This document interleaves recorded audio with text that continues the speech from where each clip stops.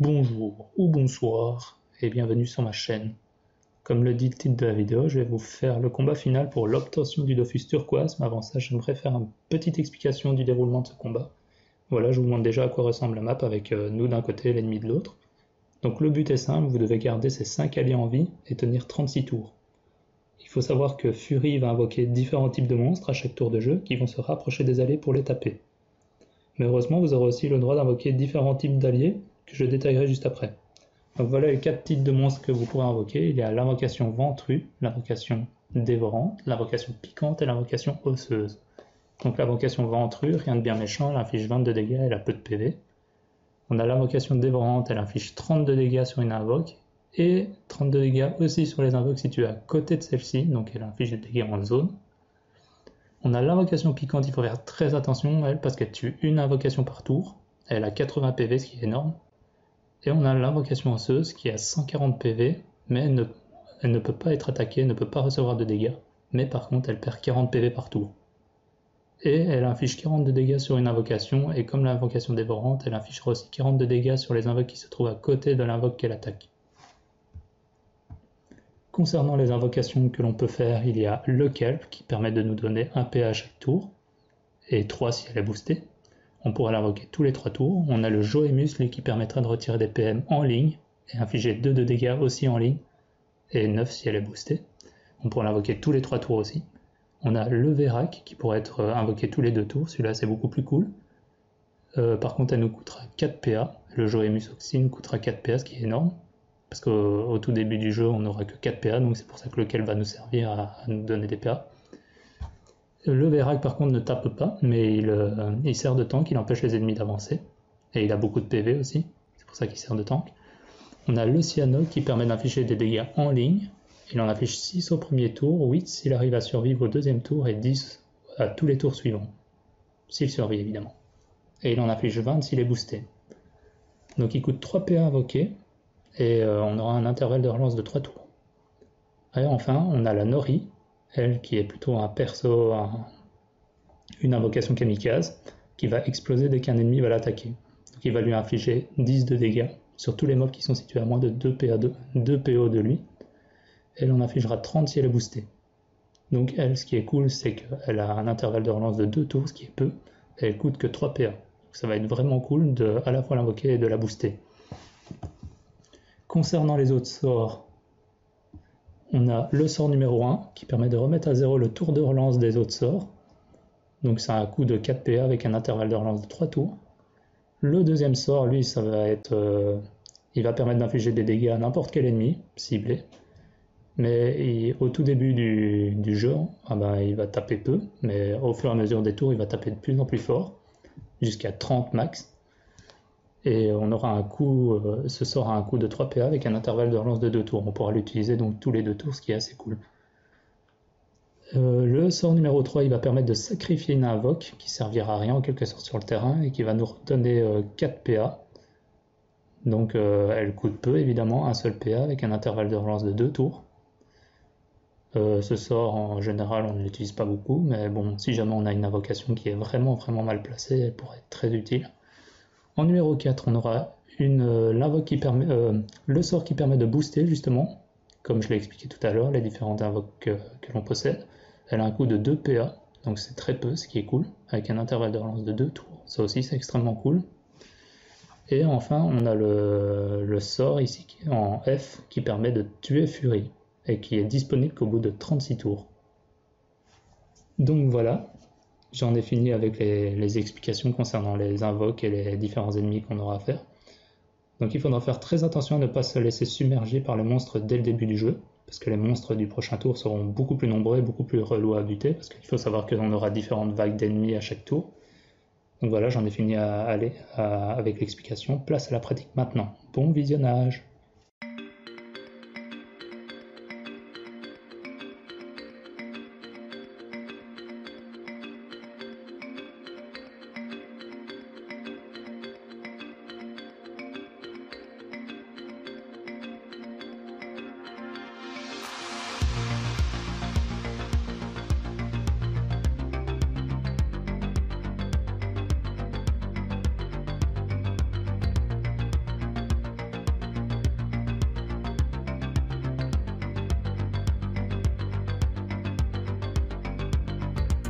I'm standing